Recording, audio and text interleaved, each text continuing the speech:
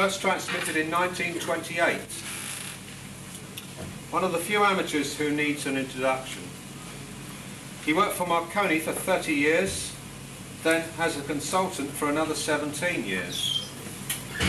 He has visited, not worked, 75 countries, and he has held 55 call signs during that time. But Louis Varney is most famous, of course, for his antenna, the G5RV.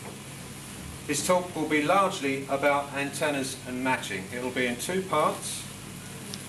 May I say without any further ado, a very, very warm welcome to you, Louis Varney, G5RV from the Norfolk Amateur Radio.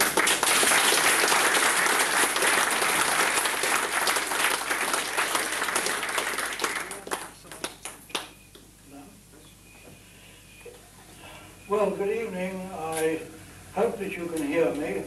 I'm not very used to talking to a microphone. I'm a CW man, uh, but uh, I'll do my best. Um, first of all, I'm delighted, of course, to see you all, and very flattered, in fact, that there are so many of you who've come especially this evening. The first question then I'd like to ask is, can you hear me at the back? Good, fine. Well, the, are two uh, parts really to my talk this evening. One is to tell you about the 5RV antenna uh, in some detail, if you can stand it. And the other is to, I think, draw your attention to a number of facts about antenna systems in general and feeder systems, and in particular about feeder losses and the measurement of feeder, lo feeder losses, uh, which in fact is a lot easier uh, than many of us may have thought. Anyway, we'll come to that. Before I uh, get started on the uh, proper talk, I would like to show you, just briefly, this transmitter which uh, you can all, or those who are interested, can come and have a look at later on. I made this uh, uh in 1927, and uh, it's chiefly uh, notable for the fact uh, that shows you how simple life was in those days.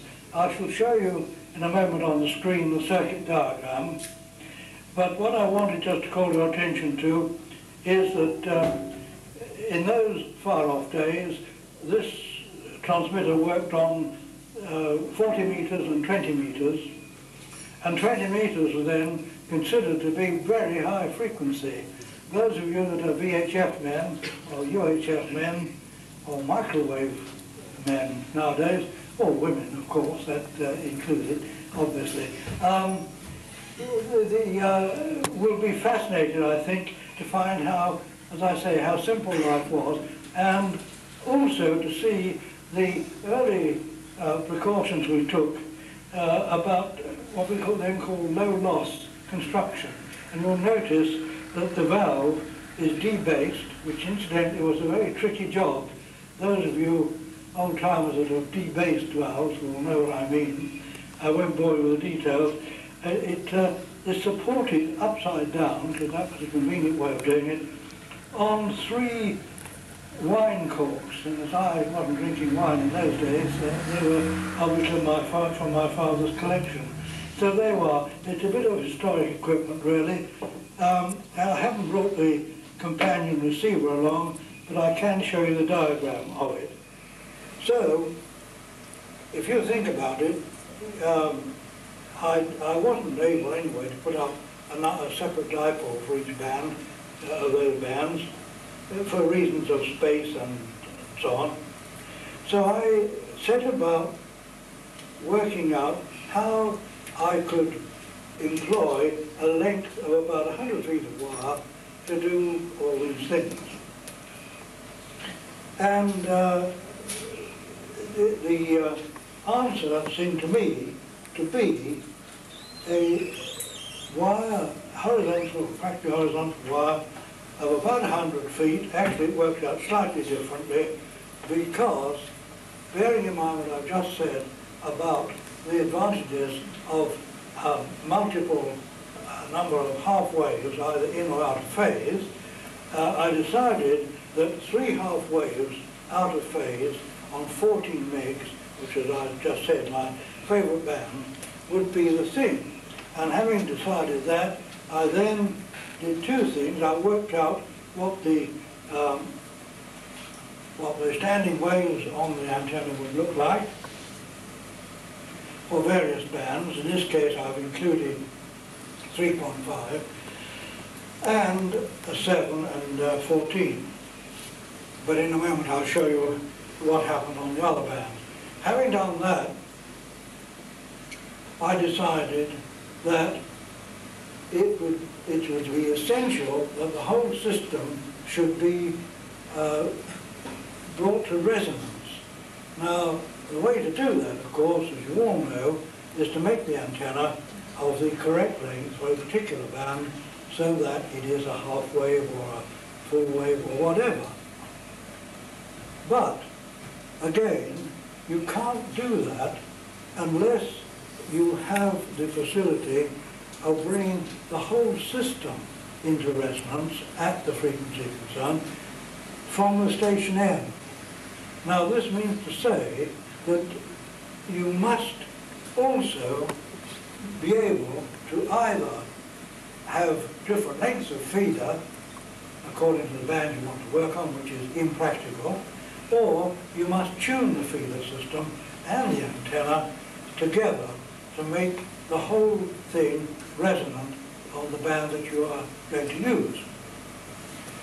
And later on we'll have a look at one or two typical uh, antenna system tuning units. And I would ask you not to think that I'm being pedantic when I talk about ASTUs and not ATUs, or as our American friends call them, transmatches. I deliberately use ASTU because what I'm talking about has the job of tuning the feeder and the antenna to resonance at any frequency you choose to use it and for which it's suitable. And this is extremely important. And I'd like you to bear that in mind because it, uh, it it's rather more important than many people uh, think. And that the antenna doesn't really very much like an unbalanced feeder being connected to its centre. It, you, it won't uh, collapse or do anything disastrous, but it won't give you the polar diagram which you think it should give. So we better not get too deeply involved in that, but simply to say uh, that be careful where you use balance. I will talk a little bit more about that if there's time in the second half of the talk, because there are some other interesting points about balance which are not widely appreciated. So, this, in, in fact, was the start, you see, and uh, it worked very well.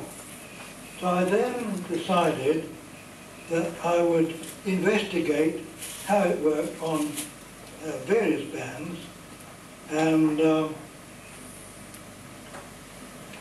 I don't, well, I don't think I'll show you that, take up time. Let's have a look now at what the standing wave on the top and on the so-called matching section, which is much more correctly known as a make-up section, and I'll explain what that means in a moment. But there we are, and that is the, uh, the current distribution on the make-up section, which used to be incorrectly called uh, the matching section, and half of the top flat top as the Americans actually call it, of the antenna. I haven't shown the other half because of course it's a mirror image and it will take up space. But now you see, I think you'll begin to see what I mean by the fact that this um, make-up section uh, doesn't really do any impedance matching.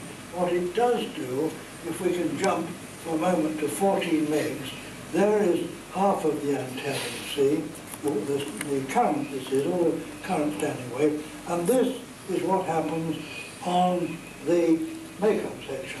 Now that is very useful indeed because what it does is to uh, move the centre of the antenna, if you like, electrically, down to the base of that stub, where, if you wish, you can attach a coax feeder or a 75 ohm twin lead or um, 300 ohm ribbon with windows, the modern type, which is uh, relatively low loss, or, best of all, of course, about a 450 ohm um, open wire line, which I strongly advocate. This is the successor, if you like, of the old 600 ohm open wire line I mentioned earlier. Uh, it is, of course, by far the most efficient feeder that you can use.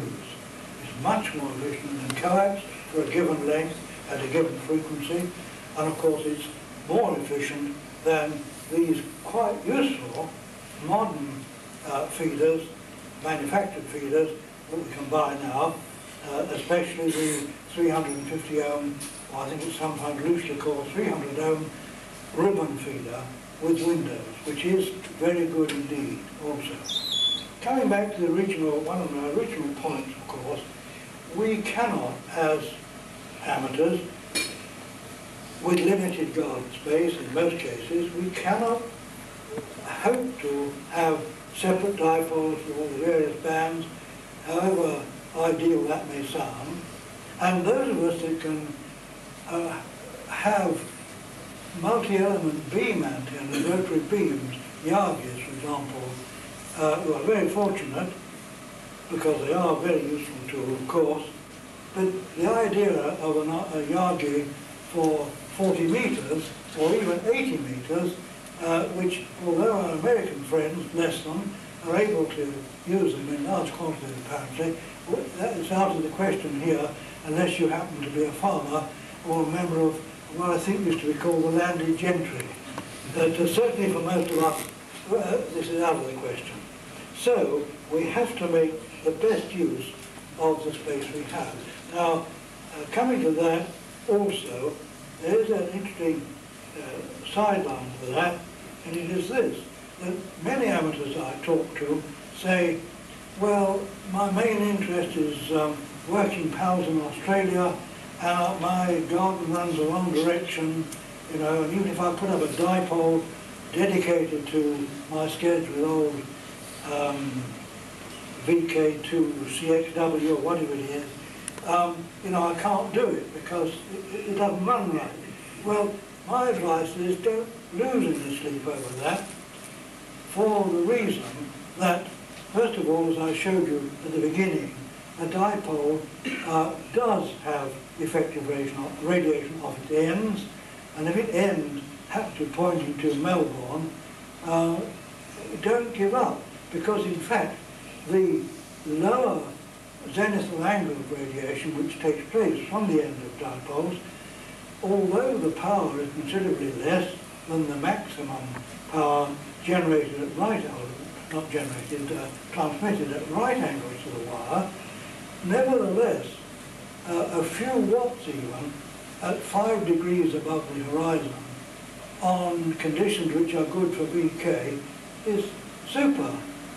What you're looking for is low angle radiation and that gives you, the, you can, I'm sure will appreciate, the fewest hops between your station, the heaviside layer, the earth or the sea, and up again the heaviside layer, which it has to do to get to Australia. Uh, so that in fact, if your garden has to be orientated the wrong way, my advice is don't worry. What you should do is to put all your efforts into making your antenna, whatever you're going to use, and its feeder system as efficient as possible. And although there isn't time to go into it in a talk like this, um, you must do a little bit of maintenance on your antennas. I'm sure most of you do, but uh, quite a lot of people don't. And it is very important indeed. However, that's uh, really out of the uh, scope.